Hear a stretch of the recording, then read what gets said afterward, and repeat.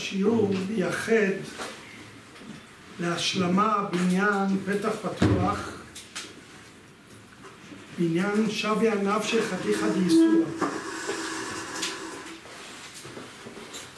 שאיך אדם שנשא אישה יכול לטעון אחרי הקידושין והנישואין פתח פתוח מצאתי ולאסור אותה עליו מדין שוויה הנפשי חתיכא דייסורא הרי ברגע שהוא קידש אותה והוא נשא אותה הוא משועבד לה אז איך יש לו כוח להפקיע את השיעבוד? הרי הוא מחויב לה. בגמרא במסכת קידושין בדף ס"ו עמוד א' הגמרא שואלת איבאילו בא עד אחד ואומר אשתך זינתה. עד אחד. הוא אומר לבעל אשתך זינתה והבעל שותק. שואלת הגמרא מהו? מה הדין? אביי אומר אביי נאמן. כיוון שהבעל שותק והעד הזה אומר שאשתו זינתה אז הוא נאמן. לכאורה כי שתיקה כהודאה אבל עוד מעט נראה. רבא אמר אינו נאמן. אב דבר שבערווה ואין דבר שבערווה פחות משתיים. רבא הוא היותר פשוט. רבא אומר להגיד אשתך זינתה ולאסור אותה על בעלה כמובן זה דבר שבערווה כי זה בא לפסול את הקידושין זה לא בא לפסול את המייסי קידושין אבל זה בא לפסול את ההתר שלהם להיות ביחד. ולכן צריך שניים. אבל אביי אומר שנאמן אחד מספיק. התוספות שם בדיבור המתחיל רבה שואל כיוון דשתק ושתיקה כהודאה דמה למה לא תאסור עליו וכי לא יכול לעשות עליו חתיכא דאיסורא? התוספות שואל על רבא.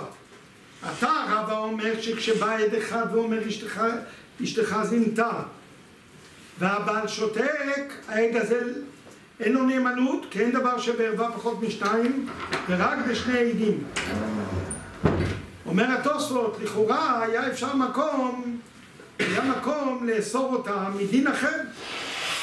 מדין זה שהוא שותק וכיוון שהוא שותק הוא מודה לדברי העת ואז שם הנפשי חתיכא דייסורא כן? כך שואל התוספות.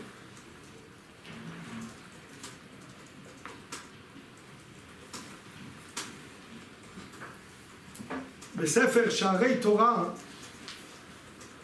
אמרתי לכם שאני אביא לכם, אני אביא לכם שערי תורה זה לא השערי תורה המקורי.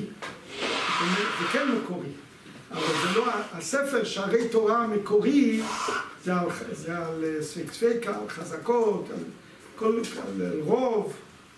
זה תוספות שמצאו מכתבי יד וזה על הלכות פרק רביעי, חלק רביעי הלכות עדות. אז זה בחלק רביעי הלכות עדות, בכרך ב', בכלל י"ח פרט א', זה נמצא שם בעמוד קכ"ד. אומר, אומר השערי תורה, נראה לעבודתי ליישב, על פי הגמרא במסכת נדרים, שם במסכת נדרים, בדף צדיק עמוד ב', הגמרא מביאה משנה ראשונה ומשנה אחרונה. דהיינו, איך היו נוהגים בהתחלה ואיך היה הדין אחרי זה. שם מדובר באישה שבאה ואומרת לבעלה, טמאה אני לך. אין עדות, אין עדים, האישה בעצמה אומרת, טמאה אני לך. אומרת הגמרא, בסוף, תביא ראיה לדבריה, למה? שלא תהיה אישה איננה נותנת באחר. זאת אומרת, לפי משנה ראשונה, אישה, שהייתה אומרת מה אני לך, אז היא נאמנת. לפי משנה אחרונה, אחרי זה ראו שנשים נאמנות בזה, אז נשים, גם אם זה לא היה נכון, שמא נתנה עיניה באחר, והיא תבוא לומר, טמאה אני לך. אז לכן הפסיקו להאמין לנשים. אבל השאלה היא, מה זה הפסיקו? מה פירוש הפסיקו? כשהיא הייתה נאמנת, היא הייתה נאמנת מצד הדין? אז אם נניח שהייתה נאמנת מצד הדין, אז עכשיו שיש חשש שנשים יבואו להשתמש בפטנט הזה כדי לצאת מבעלה, אם, ויש חשש שמא נתנה עיניה באחר, אז מה עכשיו? אז ההלכה היא לא הלכה? אז כבר לא מאמינים לאישה. הרי אם האמנת לאישה מן הדין, אז גם עכשיו שיש חשש נתנה באחר, אתה צריך להאמין לה מן הדין. הקשו התוספות והר"ן, כיוון דמדינא דאמרה טמאה אני לך מצרה לבעלה, כמשנה ראשונה, וכי משום שלא תהיה נותנת עיניה באחר, איסור שבא להיכן הלך. כך שואלים התוספות והר"ן. ברוך אתה אדוני אלוהינו מלך העולם שהכל נהיה ברוך. רבה. התורה אומרת במפורש שמותר למידה לספור לעצמה. למה שספור לעצמה לא תאמן לנו ככה? השאלה במה, במה יש לה נאמנות, כן? במידה שהיא לא אוסרת את עצמה לגמרי. אבל פה היא אוסרת את עצמה לגמרי על בעלה, והיא משועבדת לבעלה, אז איך היא נאמנת? אז תר, תרצו התוספות והר"ן, דמשנה ראשונה לא דינא קטני. באמת, באותו זמן שהיו מאמינים לה, טמאה אני לך, זה לא היה מעיקר הדין. למה? במדינה אין האישה נאמנת לומר טמאה אני לך. להפקיע עצמה מבעלה שהיא משועבדת לו. זאת אומרת, אישה לא יכולה להגיד לבעלה טמאה אני לך ולהיות נאמנת מן הדין שהרי היא משועבדת לבעלה. היא לא יכולה לבוא סתם להפקיע את השיעבוד הזה על ידי האמירה שלה. ולכן אומרים התוספות והר"ן שלפי משנה ראשונה שאשתה הייתה נאמנת זה לא מן הדין אלא משום דאמילתא דטמאה אני לך כסיף על המילתא. זה בושה. אישה שתבוא ותגיד טמאה אני לך זה בושה. אז כיוון שזה בושה, והיא בכל זאת באה ואמרה, תקנו חז"ל במשנה ראשונה להאמינה. די לאו דקושטא כאמרה, לא הווה מזלזל הנפשא למי מערכה. זה נקרא יותר מיגו, לא? אנחנו רואים פה דברים חדשים, כן? זאת אומרת שאישה שבאה לבעלה והיא משועבדת לבעלה מן התורה היא לא יכולה להגיד טמאה אני לך. היא לא יכולה להפקיע את השיעבוד שלה מבעלה, זה מעיקר הדין.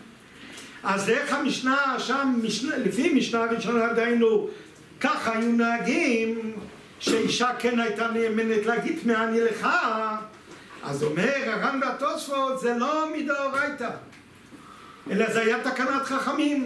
למה? כי חזוק אישה לא כסיפה לה, היא לא, היא לא תבייש את עצמה.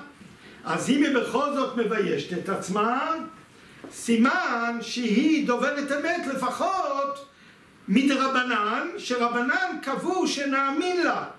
למה מדאורייתא לא חוששים לבושה הזאת? התורה קבעה כללים. הכלל הוא אם משועבדת לבעלה.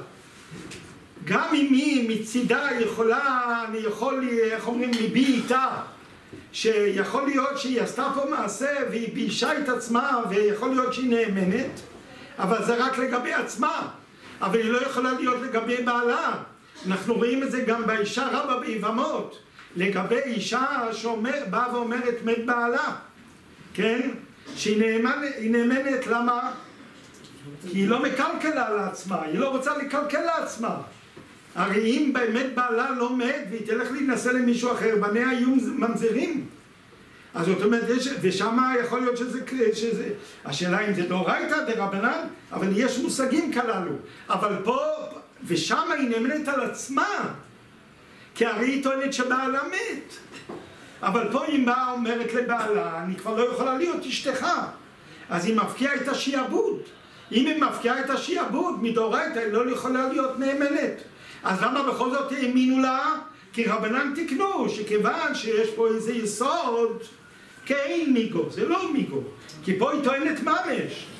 אז כיוון שרבנן ראו פה שיש איזה יסוד של חזוקה, שאדם לא מבייש את עצמו, ואם היא באה ואישה את עצמה, סימן שהיא באמת מתכוונת על אמת. אז לכן האמינו לה, אבל מכיחה זו רבנן אחרי זה, בזמנים מאוחרים יותר, כשרבנן ראו שאיכא למיכה, שהיא באה ומספרת סיפורים, כי נתנה עיניה באחר, והיא מוכנה לבייש את עצמה ובלבד שתוכל לחיות ולהתחתן עם האדם השני, אז באמת הוקמה הדינה. כי כל הדין הזה מדרבנן שמאמינים לה, זה כל עוד אנחנו מבינים שיש פה יסוד שהיא לא תבייש את עצמה. אבל אם יש לה סיבה למה היא כן רוצה לבייש את עצמה, כי היא נתנה עיניה באחר, אז הפסיקו להאמין לה. אבל יש חזקה שהיא לא מעיזה בפני בעלה. יש חזקה שהיא לא מעיזה בפני בעלה. זה, חזקה מסוג אחר. זה עוד חזקה. החזקה הזאת שאתה אומר עכשיו, זה רק אם בעלה יכול לדעת מה שהיא אומרת. כמו אין אדם מעיס פניו בפני ברחובו. אבל פה היא אומרת סיפורים שבעלה לא יכול לדעת. יותר אה, היום, מציאותי, היא לא? הרי אומרת שהיא זינתה, בעלה לא יודע אם היא זינתה או לא. אנחנו לא לא... מה? אנחנו נשאל עם מי? לא. לא, אבל זה לא קשור. כי אתה, יוצ... אתה אמרת שאולי יש פה חזוקה שבפני בעלה היא לא תעיז. היא לא תעיז כשבעלה יכול לדעת את האמת. אנחנו הולכים את זה, לא? אנחנו לא סתם נקבל את זה זה. כבר שאלה אחרת שצריך לברר, זה עוד עניין. כן? אבל נניח שבררנו ואין עדים. או שהיא עצמה שאמרה שאין עדים. אז מה? היא באה ואומרת מאן היא לך. אז היא מביישת את עצמה. אבל אם יש לה סיבה למה היא תרצה לבייש את עצמה, כגון שנתנה עיניה באחר, אז הפסיקו להאמין לה. זאת אומרת, העמידו את זה על הדין. מהו הדין? שאישה, למה? כי היא משועבדת לבעלה. ואז. על זה שואל השערי תורה מהגמרא במסכת כתובות, בסוגיה שלנו. אומר פתח פתוח מצאתי נאמן לא אוסרה, משום דשביה ענף שחתיכא דאיסורא, הרי היא משועבדת לו. הרי היא משועבדת לו כמו שהוא משועבד לה.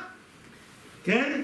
אז כמו שבנדורים היא משועבדת לו והיא לא יכולה להפקיע את השיעבוד שלה כך פה, איך הוא אומר פתח פתוח מצאתי ונאמן לו אוסרה מדין שביה נפשי הרי פה בגמרא בכתובות הוא משועבד לה אז הוא גם לא צריך להיות נאמן אפילו מדין שביה נפשי.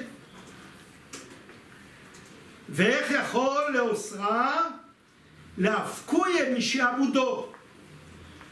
אומר השערי תורה שתי תשובות בדבר. חדש ענייתם שכבר היא משועבדת לו. מה שאין, מה שאין כן אחא, שיעבוד מתחיל מעת הנישואין.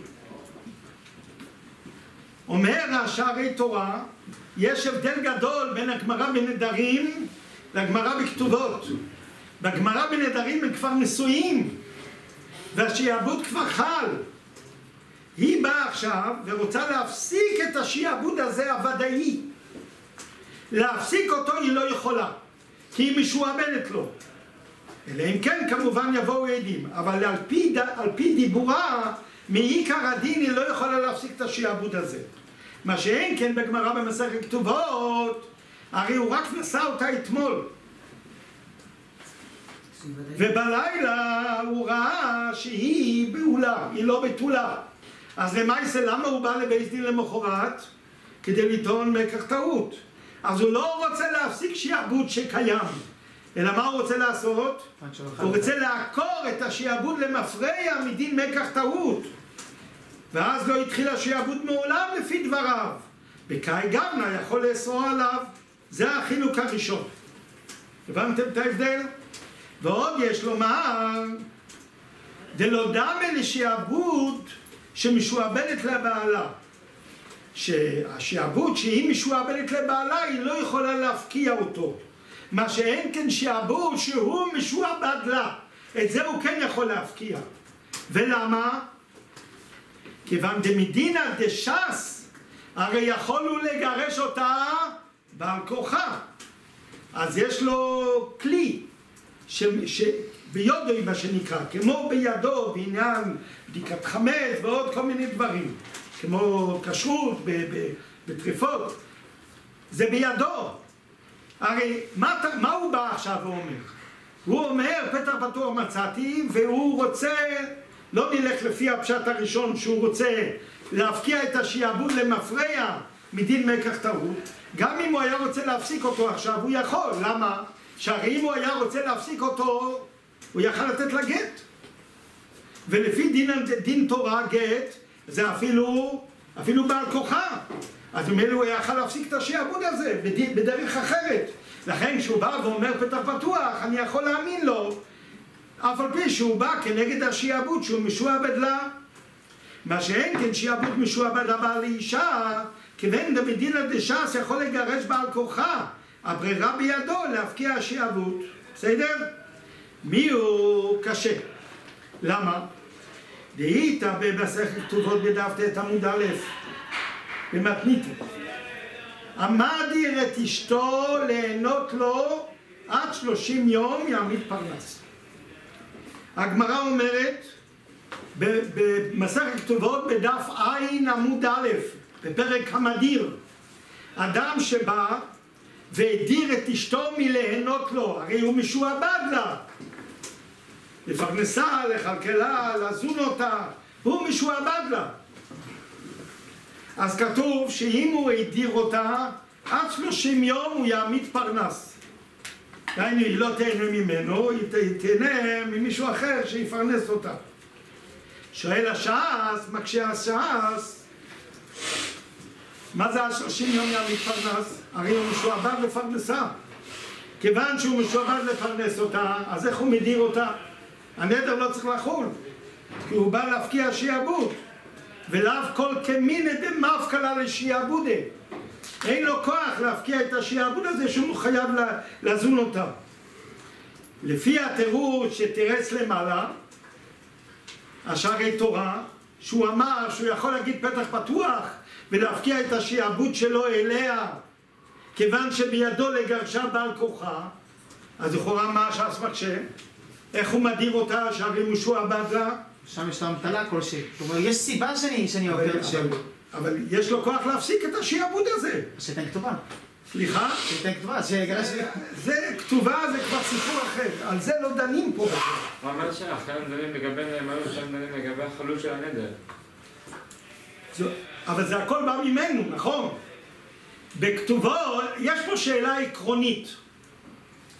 איך במקומות מסוימים שהבעל על ידי כלים מסוימים, פה על ידי אמירה, פה על ידי נדר, איך הבעל, איך אתה בכלל דן בדברים האלה? הרי הבעל משועבד לאשתו, אז איך יחולו כל הדברים האלה? כי הוא בא להפקיע שעבוד, ולהפקיע שעבוד אי אפשר. אז בטל ומבוטל כל מה שהוא אמר. אז מה אומר השערי תורה? הוא אומר, בפתח פתוח זה לא בעיה. למה? תירוץ ראשון, כי הוא בא לבטל את השיעבוד למפרע, והוא בא להוכיח שבכלל לא היה שיעבוד, שהרי היה פה מקח טעות. של תירוץ שני, מה הוא בא ואומר? גם אם נניח שהשיעבוד, אני אתייחס אליו כאילו הוא קיים, הוא יכול להפסיק אותו. איך הוא יכול להפסיק אותו? כן? כי בידו לגרש אותה. הוא לא בא עכשיו לדון מה הוא אמר, ואיך הוא עשה את זה, ובאיזה כוח הוא בא ועשה את זה. כי כל כוח לא יעזור, למה? כיוון שהוא המשועבד. אז אני צריך לטפל בשעבוד הזה. אז הוא בא ואומר, אני מטפל בשעבוד. איך אני מטפל בשעבוד? שהוא יכול להפסיק את השעבוד הזה בדרך הכי קלה. שהוא ייתן לה גט, ומדאורייתא אפילו בעל כוחה, אז הוא יכול להפסיק את השעבוד. אז על זה הוא אומר, אבל יש לי בעיה. זה אם, אם ככה, אז מה ההבדל בגמרא בנדורים, ב- במדיר, כן, שעם נדר שמה, כן, כתוב שהוא, שהוא לא יכול להפסיק את השיעבוד. דורייתא דרבנן? מה? דורייתא דרבנן. רגע, רגע, אה, זה דורייתא שלו. בנדר זה מזונות. תשמעו, תשמעו מה הוא אומר. תקשיבו טוב. כן, אז הוא שואל, הגמרא שואלת איך על ידי נדר הוא מפסיק את השעבוד שלו לזון אותה. כן? ובאמת הנדר חל, והוא צריך להעמיד פרנס. שואלת הגמרא, הרי לאו כל כמינא דמפקא לשיעבודי. זה לא בכוחו להפסיק את השיעבוד. לא על ידי נדר, ולא על ידי אמירה, ולא על ידי שום דבר. אין כוח. והראיה, שבשם נפשך חתיכה באיסורה, אז מה אומר השערי תורה? שכן יש לו כוח להפסיק שעבוד. איזה כוח יש לו להפסיק שעבוד? כי היה יכול לגרש אותה. אז כיוון שהוא יכול לגרש אותה בעל כוחה, אז הוא שולט על השעבוד הזה. אבל אישה, איך היא אומרת טמאה אני לבעלי, טמאה אני לך?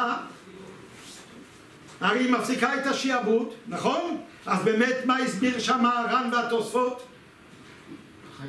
שבאמת מדאורייתא היא לא נאמנת וכל מה שאמרנו שהיא נאמנת במשנה הראשונה זה רק תקנה של רבנן משום דקסיפא לה אבל אחרי זה כשראו שעיניה נתנה באחר שנשים התחילו לתת עיניה, עיניהם באחרים אז הפסיקו את, ה, את היסוד הזה של כסיפא לה שזה שהיא באה לבזות את עצמה זה לא נותן לה נאמנות כי יש לה פה סיבה שהיא רוצה ללכת עם מישהו אחר אז מה רואים בגמורי בנדורים? שאישה לא יכולה להפסיק את השעבוד. ראינו בגמרא בכתובות בדף ט' שהבעל כן יכול להפסיק את השעבוד. אז תירוץ ראשון הוא לא מפסיק, הוא, הוא, הוא מבטל אותו מעיקרא, מדין מקח טעות. ותירוץ שני שהוא כן יכול להפסיק את השעבוד. הבעל יכול להפסיק את השעבוד. שהרי בידו לגרש אותה בעל כוחה, אז ממילא יש לו כוח להפסיק את השעבוד. ואז שואל השערי תורה, אבל הנה בגמרא בכתובות רואים לא ככה. שהרי שמה הוא מחויב, הוא משועבד לזון אותה. והוא בא והוא הדיר אותה. והגמרא אומרת שאם הוא מדיר את אשתו הוא יעמיד לה פרנס, זאת אומרת שהנדר חל. אז זה שואלת הגמרא איך הנדר חל? הרי הוא לא יכול להפקיע את השעבוד. לא יכול להפקיע שעבוד שלו. אז איך הנדר חל? אומר השערי תורה, אומר, מה פירוש איך הנדר חל? שהגמרא תתרץ שכיוון שהוא יכול לתת לה גט בעל כורחה, אז הוא יכול להפסיק את השעבוד הזה. אז הנה רואים בגמרא שמה שלתת לה גט בעל כורחה זה לא, זה לא סיבה למה אני אגיד שהוא יכול להפסיק את השעבוד. הבנתם? מה אומר השערי תורה? אומר ככה, תראה, בגמור, בגיטין, בדף צדיק עמוד א', יש מחלוקת בית שמאי ובית הלל. בית שמאי סוברים לא יגרש אדם את אשתו אלא אם כן מצא בה ערוות דבר. דהיינו רק אם היא זינתה הוא מגרש את אשתו. אם לא זינתה דברים אחרים לא יכול לגרש את אשתו. אדם מתחתן, מתחתן. עוד מעט תראה שהכוונה היא שהוא חייב לגרש אותה. ולבית הלל, או ערווה, או דבר. או שמצא בערווה דבר, ואז הוא חייב לגרש את אשתו, או, או דבר, או סיבות אחרות, סיבות אחרות שמפריעות לחיים. כתב המשנה למלך על הרם בפרק פרק י' מהלכות גירושין הלכה כ"ב הוא מביא שם שדעת תשובת המוהר"ם, המוהר"ם מלובלין, זה הכוונה. ותשובות גדולי ספרדים, הכנסת הגדולה וכולי. דהי דינא דלא יגרש את אשתו לבית שמאי כי אם בערוות דווקא, דהיינו בערוות דבר, שמצא בערוות דבר.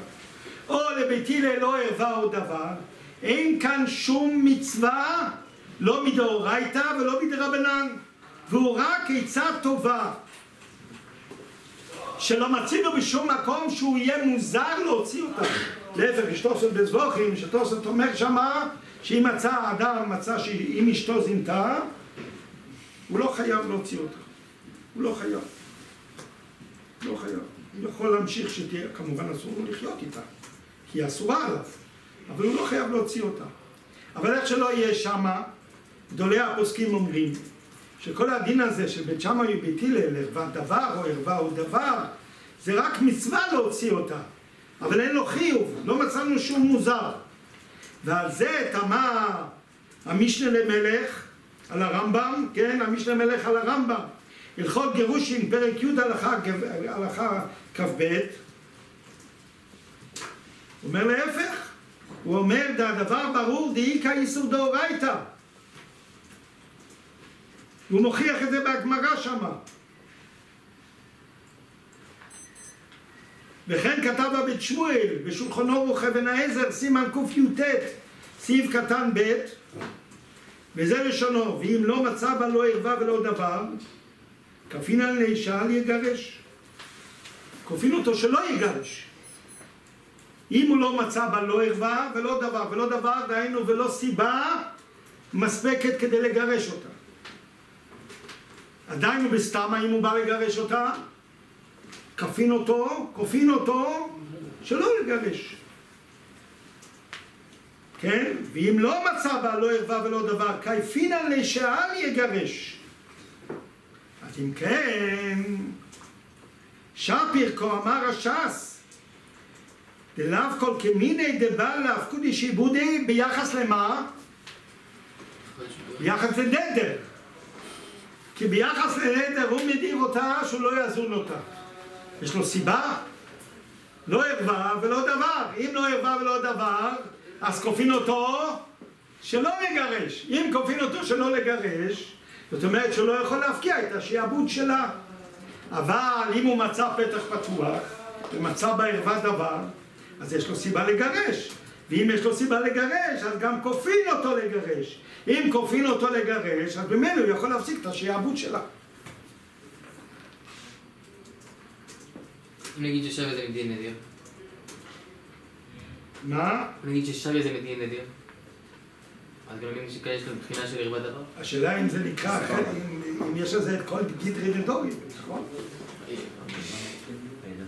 ואם כן שפיך כה אמר הש"ס דווקא כמיני דבעל להפתוש עיבודי כיוון דאין בידו לגרשה בעל כוחה איך היא דלא מצא בה לא ערווה ולא דבר כי יעבור על איסור דאורייתא אם הוא יוציא אותה כן, וחוץ מזה הוא אומר שגם לא נמצא סופר והעידים שיזדקקו לו לסייע בידו לכתוב לה גט כנגד ההלוכת.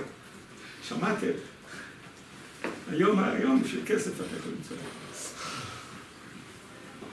ובעל כוכך צריך לומר, לכן נאמר ניתון פתח פתוח, כיוון לפי דבריו לא התחיל השיעבוד. אז הוא אומר, אם ככה אנחנו נחזור לפתח פתוח. בפתח פתוח זה גם לא נקרא שהוא מצא בערווה דבר. כי הוא זה שמצא בערווה דבר. האם יש פה עדים? הרי אין פה עדים. אז אני סומך עליו. אם אני סומך עליו, אז חוזרת שוב פעם הקושייה, איך, איך הוא יכול להוציא אותה. בשלמה, כשמצא בערווה דבר ויש עדים, אז ברור שכופין אותו להוציא. אבל פה הרי לא, לא, לא היו עדים. אלא כל היסוד הזה מאיפה נובע? ממה שהוא אומר, ועל זה אנחנו שואלים. איך אני, איך אני מאמין לו שפתח פתוח ושביה נפשי והוא אוסר אותה על עצמו, הרי סוף כל סוף הוא מפקיע את מה? את השיעבוד. אז אין הכי נמי, גם, לא, גם פה הוא לא יכול להפקיע את השיעבוד.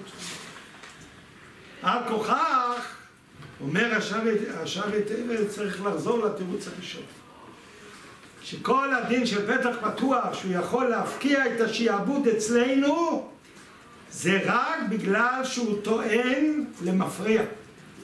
הוא טוען, אחרי שקידש אותה ביום הרביעי ובליל חמישי, הוא טוען שלא מצא לה בתולין, אז הוא בעצם טוען שהיה פה בכך טעות. אם היה פה בכך טעות, מלמפרע לא היה שיעבוד. אבל אם הוא היה בא והוא היה טוען איזו טענה אחרת כדי להפסיק את השיעבוד, אז אין הכי נמי, הוא לא היה נאמן אפילו מדין שביה נפשי. חתיכא דאסורא, כן? למה כתוב בגמרא שווה ענף שכאילו בפועל זה לא משהו אחר, זה הפקעת, זה הפקעת, זה לא שווה ענף שכאילו הוא מפקיע. לא, זה, גוף העניין. איך הוא יכול... הוא, הוא נאמן מאיזה דין? רק על עצמו. מדין שווה על נפשך חתיכא דאיסורא. זה הוא נאמן על עצמו. השאלה היא, מה, מה פירוש הוא נאמן על עצמו? גם על עצמו הוא לא צריך להיות נאמן. כי אם הוא נאמן על עצמו, יש לזה תוצאות. תוצאות כלפי מי? כלפי האישה, שהוא משועבד לה. אז זה מה רצה להגיד השערי תורה? את השעבוד הזה נסתדר איתו. למה? כי הוא יכול להפסיק אותו על ידי גט. נכון? אז הוא הוכיח מגמורי והמדיר שזה לא ככה. שהוא יכול, אפשר להשתמש עם הטענה הזאת שיפקיע על ידי גט בעל כורחה זה רק אם באמת היה ערוות דבר. אבל פה אין ערוות דבר. גם, גם אם הוא מדיר אותם במזונות אין, אין לא דבר ולא ערוות דבר. אז אין את הטיינה הזאת. לכן הגמורי שואלת שמה איך הוא מפקיע על ידי נדר? הרי משוע, הוא משועבד לה וגם פה אותו דבר הרי הוא משועבד לה על כורחה צריך לחזור לתירוץ הראשון שכשהוא בא ואומר פתח פתוח מצאתי, הוא לא בא ואומר, תשמע, קידושין היו קידושין, ועכשיו, אחרי שבועיים הוא אומר, אני, אני ראיתי אותה עכשיו שהיא זינתה. כן, אני יודע שהיא זינתה עכשיו. זה, זה, הוא לא היה נאמן בכלל. למה? כיוון שהוא כבר משועבד לה. אז גם אם תגיד, שבי על נפשך חתיכא דאיסורא, פה אתה לא יכול להגיד. אתה לא יכול להגיד שבי על נפשך חתיכא דאיסורא אם הוא בא ואומר שהיא זינתה אחרי שבועיים. למה? כי הוא כבר משועבד לה. ואדם לא יכול לשים על עצמו איסורים כנגד שיעבודים שהוא חייב לאחרים. כן? כי אחרת זה... הכל בטל ומבוטל. כי כל אדם יבטל את השיעבודים שלו. כן? על ידי שבי על נפשך חתיכא דאיסורא. אבל למה בגמורת בדף ט' הוא כנאמן? בגלל שפה הוא לא בא, הוא לא בא להפקיע את השיעבוד, אדרבה, הטענה שלו, של השבי הנפשי שמלכתחילה הקידושים לא היו קידושים. ואז כן בזה, כן שהיה שווה נפשך חתיכא דאיסורא. הוא נאמן לגבי עצמו, אבל אתה יכול להפקיע את ה... הוא נאמן לגבי עצמו, אבל כיוון שהנאמנות שלו לגבי עצמו זה בטענה כזאת שמפקיעה את זה למפרע, אז פה אני כן מאמין. גם לגביה? גם לגביה. גם לגביה, כי בעצם זה לא לגביה, כי הוא, הרי לפי הטיינה שלו, היא מעולם לא הייתה משוררת, היא לא הייתה בכלל השיעבוד הזה. תחשוב. טוב, אני אומר, זינתה, אותו דבר, כל מצב של פתח פתוח, אז לפי הטענה שלו היא אסורה לה. מה? כל טענה של פתח פתוח, לפי הטענה שלו... לא. מה שאנחנו רואים, גם מהגמורי בנדורים, שבעל ואישה שנשואים ויש להם שיעבודים אחד על השני, אפשר, אפשר להפסיק את השיעבודים האלה על ידי עדויות. על ידי דברים שיש בהם עדות. לא דברים שכל אחד אומר על פי עצמו. כן? לא האישה שאומרת מהני לך, ולא הבעל שאומר את זנית. אי אפשר להפסיק את השיעבוד הזה. היה הרי בגמור, גם, גם לא מדין שבי הנפשי חתיכא דאיסורא. למה? כי השבי נפשי חתיכא דאיסורא לא יכול להפסיק שיעבודים. נקודה. אבל שבי נפשי חתיכא דאיסורא יכול לבטל למפרע שיעבודים. יכול לבטל. למה? כי הרי לפי שיטתו בכלל לא היה פה שיעבוד. וכיוון שלפי שיטתו לא היה פה שיעבוד, אז מעין גיטו וידו באים כאחד. זאת אומרת, באה פה גם הנאמנות, כן? או אפילו לא מצד נאמנות, אלא מצד הדין, כן? או נאמנות של עד אחד על פי עצמו, כן? שאז הוא כן יכול להפסיק את השיעבוד למפרע, אבל לא מכאן ולהבא. גם לגבי זנית, לאחר שכבר התחיל השיעבוד, לשיטתו... זנית אחרי שהפסיק השיעבוד הוא לא... אני בכלל... השב עיניו שלו לא מספיק חזק כדי להפסיק שיעבוד.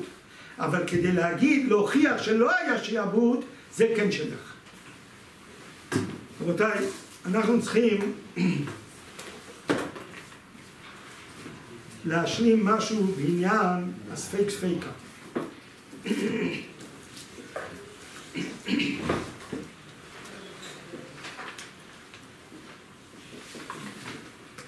אנחנו השתמשנו בשיטת הרשב"א שספייק ספייקה מותר מדין רוב, נכון? רוב צדדים להתר. כן, שמא זינתה תחתיו, שמא זינתה לא תחתיו. שמא זינתה תחתיו ואסורה, ושמא זינתה לא תחתיו ומותרת. ואפילו אם תרצו לומר שמא זינתה תחתיו, ספק באונס ומותרת, ספק ברצון ואסורה. אז יש 50 אחוז ללא תחתיו, שזה היתר, 50 אחוז לתחתיו, שזה איסור, ומתוך ה-50 אחוז האלה, 25 לאונס ו-25 לרצון. מה שאנחנו רואים, למשל בתוספות שלנו, כן? התוספות שלנו ועוד ראשונים, שמדברים על ספק ספיקא המתהפך. שכדי שספק ספיקא יהיה לו גדר של ספק ספיקא, צריך שהוא יתהפך. דהיינו שיהיה אפשר לומר אותו משני הכיוונים. ועל זה כולם שואלים, מדוע? הרי אם לפי הרשב"א ספייק ספייקה זה מדין רוב להתר, אז מה אכפת לי שזה לא מתהפך? למשל, ניקח את המקרה שלנו שזה כן מתהפך, אבל נתחיל אותו, כן? ספק זינתה תחתיו ואסורה, ספק סיתה לא תחתיו ומותרת. ואפילו אם תרצה לומר תחתיו, שאסורה עדיין יש להסתפק, ספק בעונד וברצון. אז יש 75 אחוז, אם נגיד שמדובר פה בספק השקול, דהיינו כל אחד מהם זה ספק השקול, 50 אחוז לכאן ו-50 אחוז לכאן, אז אם נחבר את שתי הספקות האלה ביחד, יש לנו 75 אחוז להתר. מה אכפת לי נניח שיש לי איזה ספק ספקה שהוא לא מתהפך? אז מה אכפת לי שאני לא יכול להתחיל אותו בשני הכיוונים? עצם העובדה שאני יכול להתחיל אותו בכיוון אחד, אז זה יוצר לי רוב להתר, רוב להתיר אותה, אז כיוון שיש פה רוב להתיר אותה, אז אני כבר מתיר אותה. מה אכפת לי שזה לא מתהפך? מה זה משנה לי? מה זה מוסיף ומה זה לא... מה? זה רוב של שבע, כי אתה לא בטוח שזה רוב אפילו, אולי זה צד שני ואז זה לא... איזה צד שני? אולי היא בצד שני. אין צד שני. לא זה לא עניין של מציאות. זה לא עניין של מציאות, זה עניין של אמירה. זה עניין של עובדה. יש תמצא שאני יכול להגיע פה למצב של רוב להתר? וספק ספקה, מה המהות שלו? לפי הרשב"א, רוב להתר. אז מספיק שיש צד אחד לרוב להתר ונגמר הסיפור. מי אמר שגם הרשב"א צריך מתהפך? מה? מי אמר שגם הרשב"א צריך מתהפך? אם צריך לפי הרשב"א מתהפך, או לא לפי הרשב"א. לפי אותו מאן שסובר, כמו הרשב"א, שהולכים אחרי הרוב, וזה הפירוש של ספיק ספיקה, אז הוא לא יכול להיות סובר שצריך שיהיה מתהפך. בנושא הזה דיברו הרבה האחרונים. ומה שמעניין, וזה מעניין מאוד, כי האחרונים שדיברו בזה הם לא באים לתרץ את הרשב"א. הם, הם, אדרבה, זו, זו סיבה, השאלה הזאת על הרשב"א, זו סיבה בשבילהם לעזוב את סברת הרשב"א שספייק שייקה זה מדין רוב ולמצוא סברות חדשות. אתם שומעים? זה מה שמעניין כאן. מביאים רשב"א, ראשונים, כן? מקשים עליהם האם יכול להיות מתהפך או לא מתהפך, אז אני כבר משתמש עם מה שאמרת. אז נניח שהרשב"א לא סובר שצריך מתהפך. כן? אז הרשב"א בסדר. אז הם לא מקשים על הרשב"א. על, על כל מאן דאמר שסופר גם את זה וגם את זה. ומתוך זה, מתוך זה מגיעים לסברה חדשה.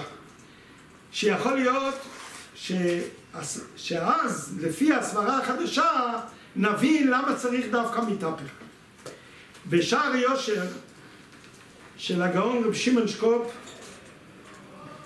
בשער הספקות, זה נמצא בשער יושר בכרך א', שער הספקות, זה מחולק לשערים, אז שער הספקות, פרק י"ט. אומר השאר יושר ככה, והנה בעיקר היסוד, בתמא דהיתרא של ספק ספיקה. מה הטעם של ספק ספיקה מותר? סופק אחד, מדאורייתא, כן, סופק, סופק, סופק איסור, אמרנו, רש"י? עוד מעט נראה אם מדאורייתא או מדרבנן, אבל סופק באיסור דאורייתא לחומרה. האם מדאורייתא או מדרבנן זה עוד עניין, אבל זה לחומרה. וכשיש ספק ספיקה, אז זה, אז זה מותר. מה, מה עושה הסופק השני? איך הוא פועל כאן שזה יהיה מותר? אז אומר רב שמעון שקופ, בטעמא דייתרא שספק ספיקה לא מצאנו מפורש בדברי רבותינו הראשונים ז"ל.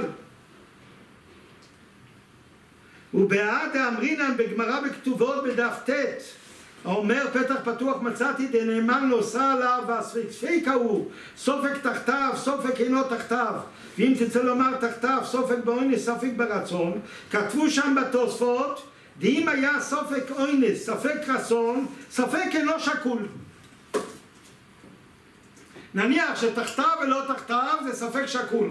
50% תחתיו 50% לא תחתיו אבל ספק אונס וספק רצון זה לא 50 אחוז, 50 אחוז. ולמה?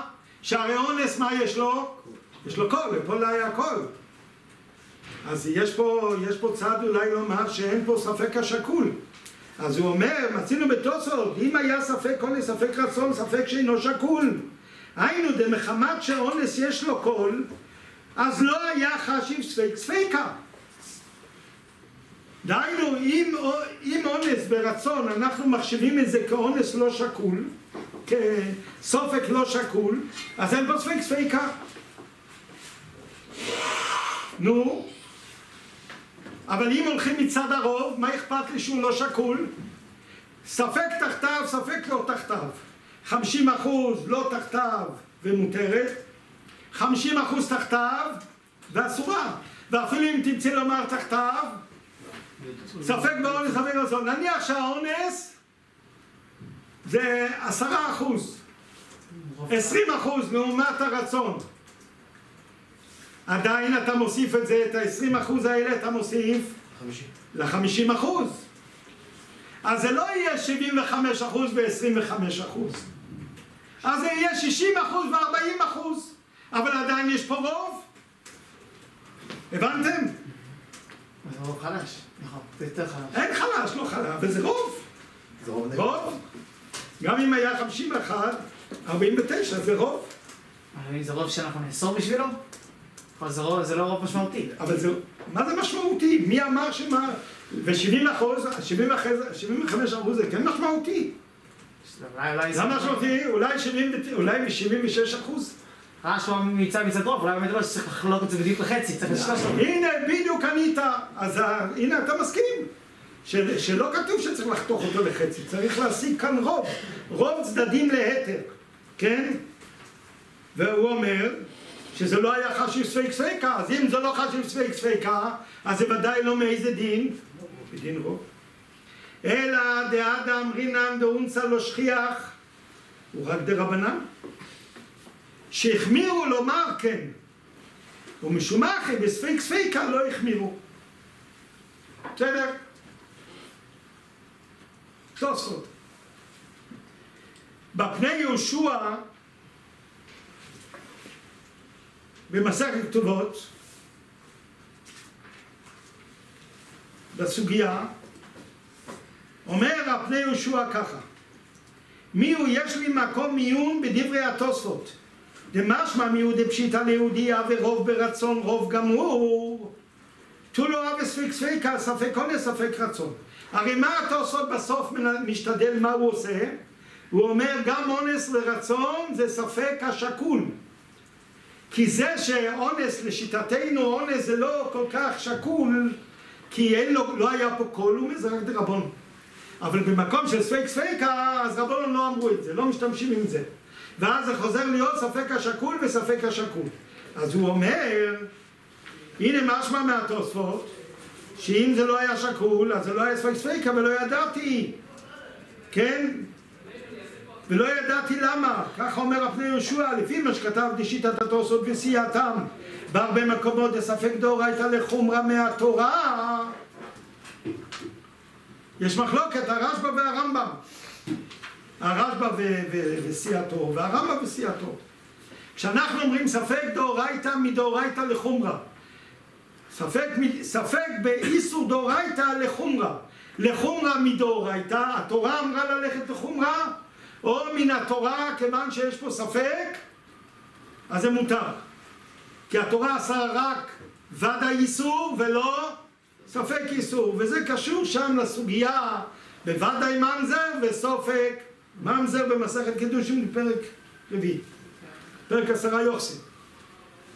התורה עשה רק איסור ודאי ולא איסור סופק, אז למה הספק באיסור דאורייתא לחומרה מדי רבנן?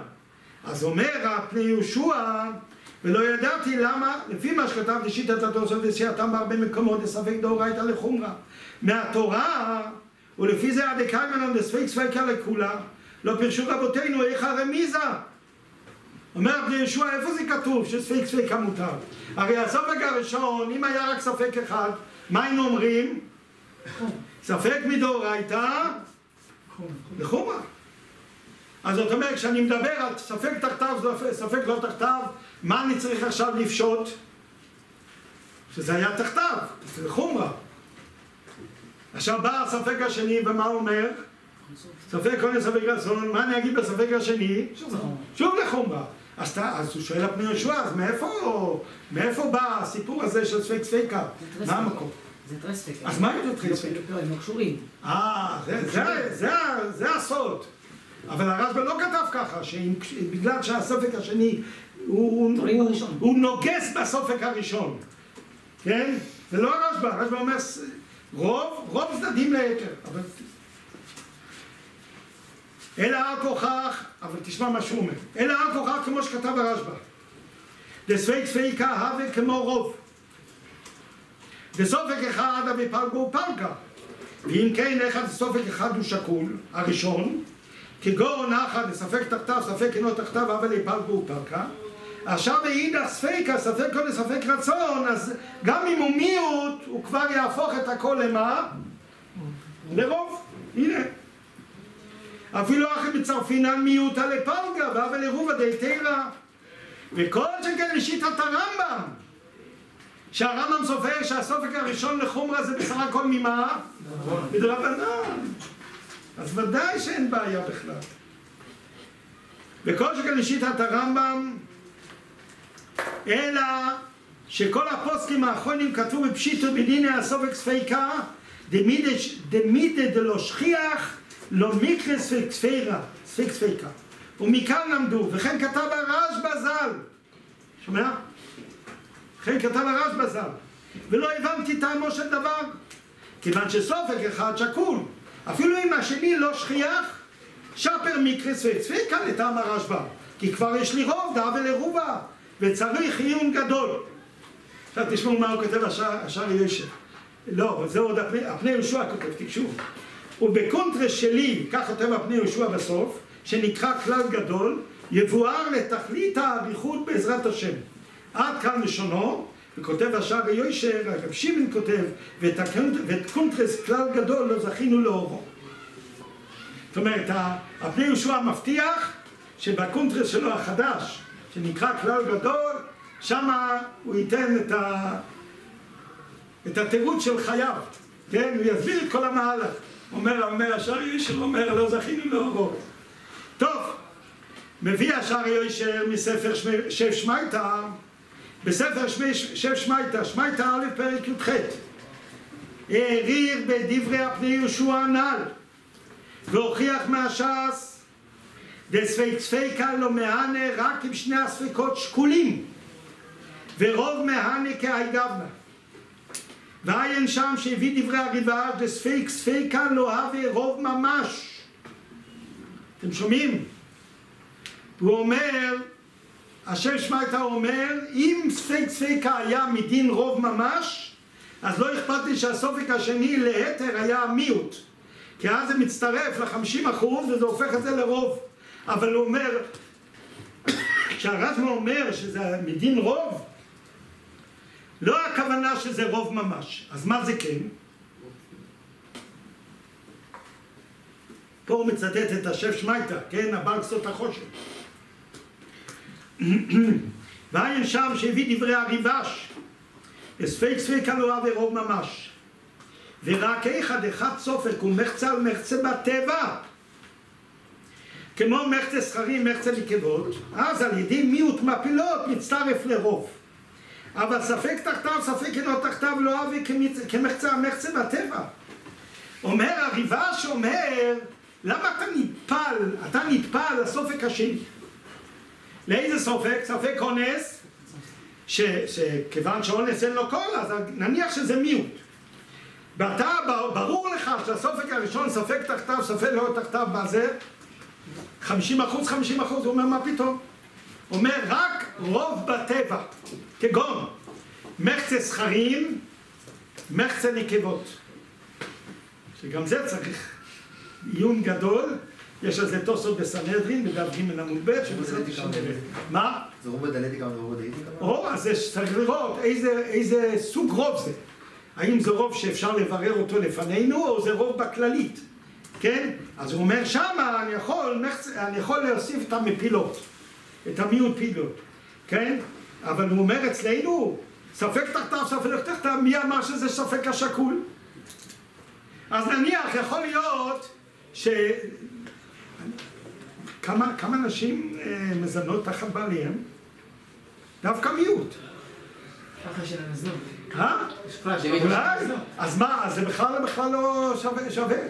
אז יכול להיות בכלל שהסופק הראשון הוא רוב גם בלי הסופק השני. כי ספק לא תחתיו, או ספק לא תחתיו, ספק, ספק תחתיו, והלא תחתיו הוא יותר אחוזים. זה שתקוין, אני מה? זה שתקוין, נגיד. אני לא אמרתי, אני אומר את זה, זה נותן את אותותיו, אבל, זה, אבל הוא שואל את זה לא כקושיות, הוא שואל את זה ככל מיני שאלות כדי להגיע להבנה הנכונה במובן של ספק ספקה. כן? וכתב לפי זה בשם שמעיתא, בספק ספקה עבדה אבי כרוב, כרוב, ועדיף מרובה. לא מענה רק עם הספקות שקולים. והנה כל זה להלוכה, אבל בטעמו של דבר לא תירץ כלום. וקושת הפני יהושע ניצבה וקמה. בא עכשיו אשר יושר, נכנס למהלך משלו. ונראה לי, כשנדייק בלישנת דש"ס, שאמרו ספק ספקה, ולא אמרו סתם שתי ספקות. אני אגיד לכם בעל פה, כיוון שהזמן בוער. אתם תראו את זה בפנים. בשאר הספקות, בפרק י"ט, בסדר? עמוד נ"ו, עמוד נ"ז וקצת מעמוד נ"ח. אומר הפני יהושע, זה שקוראים לזה ספק ספיקה ולא שתי ספקות, זה אומר הכל. כי כיוון, אם זה היה נקרא שתי ספקות, אז זה שתי ספקות נפרדים. אז יש סופק ראשון ועוד סופק שני, ועכשיו תחבר כמה אחוזים יש לפה וכמה אחוזים יש בסופק השני. אבל הוא אומר לא, זה נקרא דווקא ספק ספיקה. שהסופק השני בעצם הוא חודר לאן? לסופק הראשון. עכשיו השאלה היא, הסופק הראשון ממה נאסר? זאת השאלה. ממה נאסר? אם למשל הסופק הראשון כמו הרמב"ם היה נאסר מדרבנון ואתה צריך לקיים את הדרבנון מדין לא תסור לא תסור מכל השם אחד במין ושמאל, כן? היה, ש... היה בכלל שאלה פה מה לעשות עם הסופק השני? ודאי שכלום, ודאי שהסופק השני מטיל מום במה? בסופק הראשון, כי, מה, כי גם הסופק הראשון מדאורייתא, בלי, בלי החידוש של רבונו, שמגיע, שיש עליו לא תסור, כן? ודאי שהוא היה פוגם בסופק הראשון. השאלה היא לפי, לפי, לפי הרשב"א, שספק דאורייתא מדאורייתא לחומרא. אז כשאנחנו אומרים ספק דאורייתא, נניח ספק, ספק איסור, ספק לא איסור. וזה איסור דאורייתא לחומרא.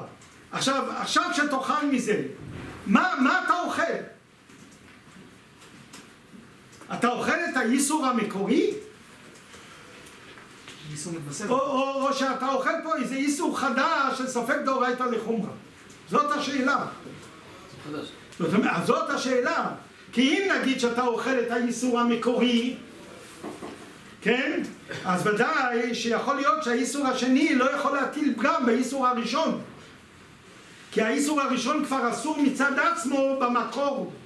אבל אם תגיד שהאיסור הראשון, כל האיסור שלו ספק, ספק באיסור דאורייתא מדאורייתא לחומרא, זה יוצר פה איסור חדש, כאין לא תסור. במקרה כזה יכול הסופק השני להטיל מום בסופק הראשון.